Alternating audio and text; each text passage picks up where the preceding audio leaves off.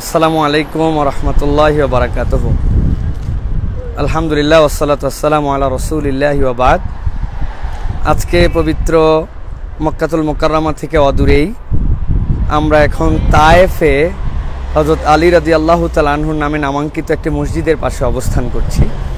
আপনারা ইতিপূর্বেই হয়তো বা এই মসজিদটি অনেকে অনেকভাবে দেখে থাকবেন, কিন্তু আজকে মূলত এই তায়েফ রসল্লাহ সাল্লাহ আলী আসাল্লামের রক্তে রঞ্জিত যেই ময়দান, যেই ময়দানের এখন আল্লাহ রাব্বুল আলমিন এমন নিয়ামত দিয়েছেন, এমন কোনো ধরনের ফল নাই যেই ফল এখানে হয় না।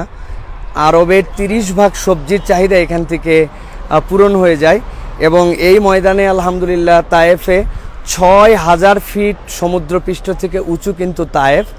সেই তায়েফে আলহামদুলিল্লাহ আমরা একটা মসজিদে এসেছি, যে মসজিদটা হজরত আলী রাজ্লাহ তালার নামাঙ্কিত। কিন্তু ঐতিহাসিকভাবে বা হাদিসগতভাবে আমাদের কাছে এরকম কোনো প্রুফ নাই যে এখানে রসল্লা সাল্লাম এসেছিলেন বা এই জায়গাতে রসল্লা সাল্লাম এই মসজিদে এইভাবে সালাত আদায় করেছেন, এরকম কোনো প্রুফ নাই বা আমরা সেরকম কিছুর জন্য আপনাদের কাছে এটি দেখাচ্ছি না। মূলত দেখাতে চাই মসজিদের ভেতরে এবং মসজিদের যে গম্বুজ এবং মিনার এই জিনিসগুলি কি চমৎকারভাবে এখানে অনেক প্রাচীন আমল থেকে নির্মাণ করা হতো এবং নির্মাণের পদ্ধতিটাকে এই বিষয়টি দেখানোর জন্য। আর তায়েফ যখন আমাদের কাছে প্রসঙ্গে আসে, তায়েফ হচ্ছে আমাদের জন্য অত্যন্ত আবেগের জায়গা। রসুল আরবি সাল্লাহ আলাইসাল্লাম এখানে এসেছিলেন এবং এই জায়গায় অবস্থান করেছিলেন। আমি আপনাদের সামনে যে বাগান আপনাদেরকে একটু দেখে আমরা মসজিদের মধ্যে প্রবেশ করব। এখানে কলার গাছ থেকে শুরু করে খেজুরের গাছ, নানান কিছু কিন্তু আপনারা এই জায়গাতে দেখতে পাচ্ছেন। এবং এই বাগানে যাওয়ার পরে এই বাগানের সামনে থেকে আলহামদুলিল্লাহ আমি আপনাদের কাছে একটা জিনিস দেখাতে চাই। এখান থেকে আমি একটা আনার এখান থেকে নিয়ে আসছি। আপনাদের মসজিদে ইনশাল্লাহ যাব এবং মসজিদের ভিতরটা আপনাদেরকে দেখাবো। আপনাদেরকে একটু দেখাতে চাই যে আমার সাথে একটু আপনারা দেখতে পারেন যে আমি একটা আনার আপনাদের জন্য এই বাগান থেকে এখানে কিনলাম। তারা সেখানে বিক্রি করছিলেন। বাংলাদেশে বা পৃথিবীর যে কোনো জায়গায় আমরা যখন আনার দেখি আনারগুলি কেমন হয়? যে আনার কিন্তু আমাদেরকে কাটতে হয়, তারপরে সেটা তুলতে হয়। কিন্তু দেখেন, এইটা হচ্ছে ডালিম। আপনাদের ডালিমটা কিন্তু একদম এত পাতলা চামড়া, যেটা আমরা হাত দিয়ে ছিঁড়ে ফেলতে পারি। মার্শাল্লাহ সবুজ রঙের ডালিম। হাত দিয়ে ছিলা যায়। আমি কখনো হাত দিয়ে ডালিম ছিলা যায়, এটা এর আগে ধারণা ছিল না আমার। এখানে এত নরম চামড়ার এবং এত সুমিষ্ট ডালিম মার্শাল্লাহ দেখেন, আমি কিন্তু হাত দিয়ে একদম ছিলে ফেলতে পারছি। হাত দিয়ে এরকম করে ডালিম ছিলা যায়, রসে ভরা ডালিম এখানে মার্শাল্লাহ এই হাত দিয়েই এই যে মার্শাল্লাহ ডালিম কিন্তু এই জায়গায় আপনারা দেখতে পাচ্ছেন। আমি একটু মুখেও দিয়ে দেখাতে চাই আসলে। মার্শাল্লাহ অসাধারণ, আলহামদুলিল্লাহ। চামড়াগুলি এত পাতলা, এরকমভাবে ছিলে ফেলা যায় এবং এইভাবে কিন্তু এখানে ছিলা যায় মার্শাল্লাহ জি, এই এই হচ্ছে এই বাগানের বাগানের এই জায়গা থেকে। তো আমরা আপনাদেরকে এখন মসজিদে আলিতে আপনাদেরকে নিয়ে যাব, যে মসজিদে আলিটা প্রাচীনকালে বানানো। আমি আবারও আপনাদের কাছে বলে রাখতে চাই, এখানে লেখা আছে ইন্নাহাদিল আমাকিন লাম ইয়াসবুত মুরুর নবী সাল্লাল্লাহু আলাইহি ওয়াসাল্লাম আলাইহা, লিহাযা লাম ইয়াকুনু সাহাবা রাদওয়ানুল্লাহি আলাইহিম ওয়ালা সালফুস সালিহ।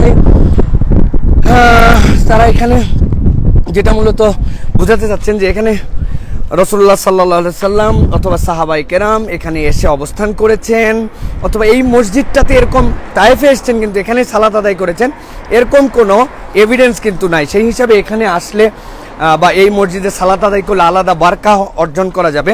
বিষয়টি কিন্তু এরকম নয়। তো প্রিয় ভাইয়েরা, আমরা এখন আপনাদেরকে মসজিদটা মূলত দেখাতে চাই যে এই মসজিদটা কত চমৎকারভাবে পুরাতন আমল থেকে বানানো।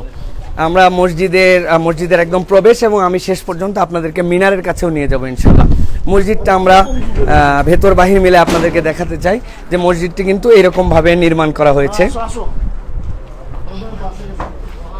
এই মসজিদে আপনারা দেখতে পাচ্ছেন কাঠ দিয়ে যেরকম এখন আমরা যেটা লিনটান বলি লিনটানটা কাঠ দিয়ে ব্যবহার করা হয়েছে। মসজিদের ভিতরটা যদিও নতুন করে কার্পেটিং করা কিন্তু সেই প্রাচীন আমলের যে ঐতিহ্য সেই ঐতিহ্য কিন্তু মসজিদটা ধরে আছে। এটি হচ্ছে মসজিদের মিম্বার। মসজিদের মিম্বার এটি।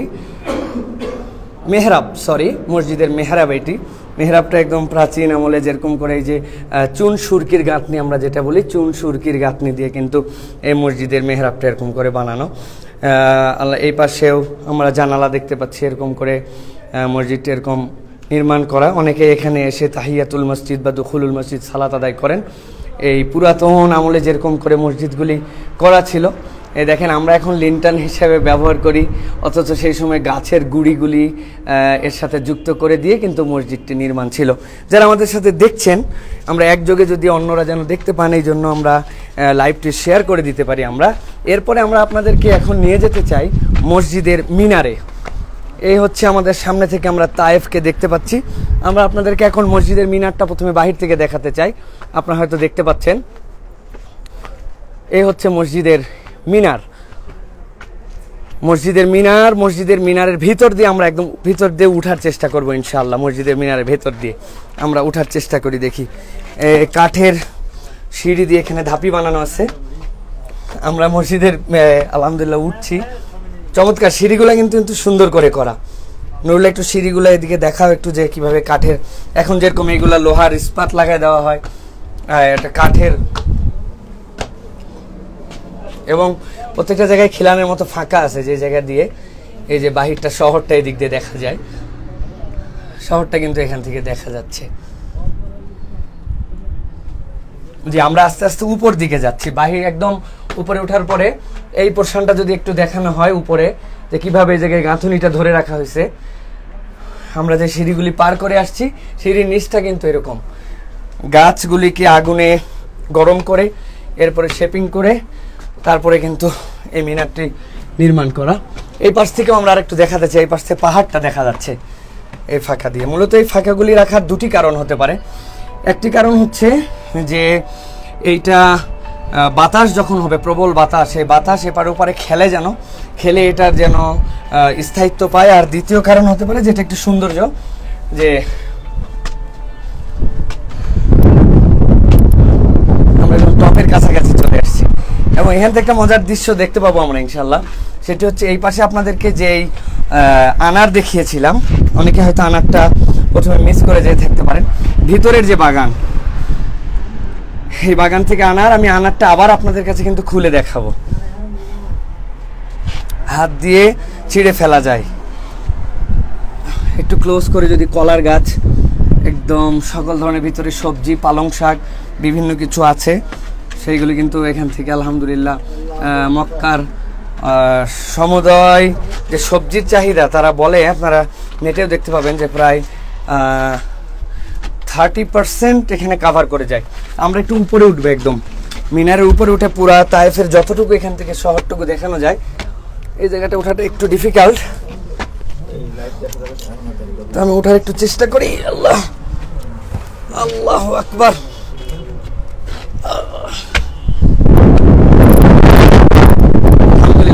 ভয় লাগতেছে।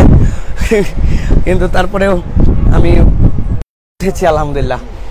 এই দেখেন আল্লাহ রাব্বুল আলমিনের অপরূপ সৃষ্টি জাওয়াল যেই পাথরগুলি, যুগের পরে যুগ এইভাবে তারা দাঁড়িয়ে আছে একদম।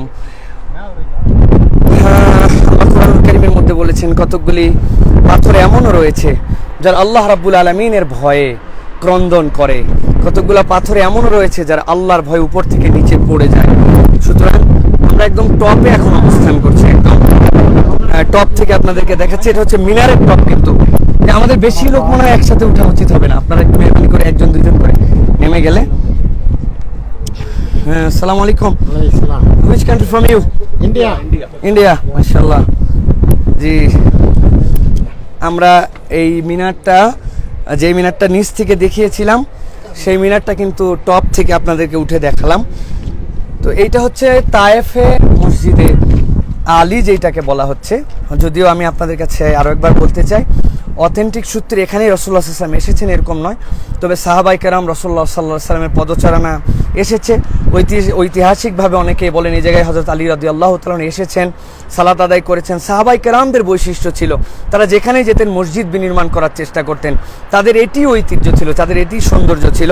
তো আলহামদুলিল্লাহ, এই মসজিদটা যেটা ছাদ দেখতে পাচ্ছেন, এটা হচ্ছে মসজিদের ছাদ, আর এটা হচ্ছে মসজিদের আমরা যার উপর দাঁড়িয়ে আছি, এটা হচ্ছে মিনারা। নুরুল্লাহ, এই জায়গাটা একটু দেখাও যে এইগুলা মিনারগুলাও কেমন করে, কত সুন্দর করে যে উপরের যে গোলটা, ওইটা এইভাবে আলহামদুলিল্লাহ নির্মাণ করা হয়েছে। আমি আবারও একবার আরেকটা জিনিস দেখাতে চাই যে একদম তায়েফে আল্লাহ রসুল সাল্লাহ আলী ওয়াসাল্লাম যখন এসছিলেন, তখন রসুল্লাহ সাল্লামকে রক্তাক্ত করা হয়েছিল। রসুল্লাহ সাল্লা সাল্লামের জুতা মোবারক পায়ের সাথে আটকাই গিয়েছিল রক্তে।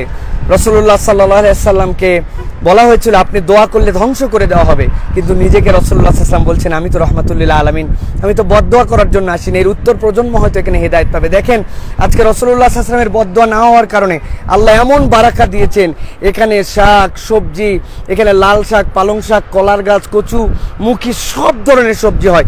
আমার কাছে সবচেয়ে আনার তো আমরা দেখি, আলহামদুলিল্লাহ। কিন্তু আমরা আমাদের বাংলাদেশ সহ অন্যান্য যে জায়গায় মিশরে দেখে মিশরে আনার দেখেছি, অন্যান্য জায়গায় যে আনার দেখেছি, সে জায়গায় আনারগুলোর হার্ড হয়। কিন্তু এত সফট মশাল্লাহ আমার নখ কিন্তু নাই।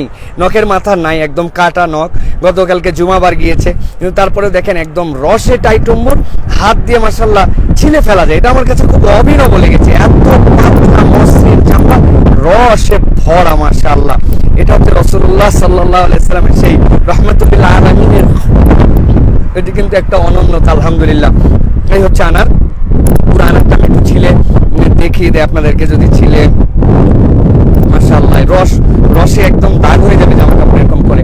কি চমৎকার আনার, মাশাআল্লাহ। এটা আমি তাইফে আসলেই আমি কিন্তু এটা অনুভব করি এবং এটার জন্য আপনাদেরকে ভাইরা, আলহামদুলিল্লাহ আমরা মসজিদে আলীর উপরে একদম টপে আছি। সেখান থেকে আমরা আলহামদুলিল্লাহ নিচে নেমে যাব এখন। ইনশাআল্লাহ, নিচে নেমে আমরা আপনাদেরকে এই মসজিদে আলীর আশপাশ থেকে যে তায়েফ এইটি দেখালাম। এটি দেখানোর উদ্দেশ্য পুরাতন আমলে মসজিদটি কেমন করে বিনির্মিত হতো এবং রসুল্লাহ সাল্লাহ আলহি ওয়াসাল্লামের ভালোবাসার যে, তাদের জন্য যে রসুল সাল্লাম যে ভালোবাসা দিয়েছিলেন, তার বরকতটা কীভাবে আল্লাহ রাবুল দিয়েছেন? আমি অনুরোধ করব, সম্মানিত হাজিরা, সম্মানিত ওমরাকারীরা নিয়ত করেন, আল্লাহর ঘরে আমরা যেন আসতে পারি এবং আল্লাহর ঘরে যখন আমরা আসব, ইনশাআল্লাহ, সুযোগ থাকলে আমরা যেন তায়ে ভ্রমণে আসি। অন্তত আমার রসুল সাল্লাহ আলী সাল্লাম এইভাবে এই জায়গাতে এসেছিলেন, এই হৃদয় উজাড় করা ভালোবাসা সমুদ্র পৃষ্ঠ থেকে ছয় হাজার ফিট উঁচু এই জায়গা, কত কঠিন জায়গায় দাওয়াত রসুল্লাহ এসেছিলেন, সেই বারাকাপূর্ণ সেই ভূমি আলমিন যেন আজীবন মুসলমানদেরকে, ইমানদারদেরকে এই ভূমিগুলোতে আসার তৌফিক দান করেন। আল্লাহ রাবুল আলমিন আপনাদেরকেও আসার জন্য তৌফিক দান করেন। তায়েফ মসজিদে আলী থেকে আজকের মতো বিদায় নিচ্ছি। আসসালামু আলাইকুম রহমতুল্লাহ বারাকাতুহ।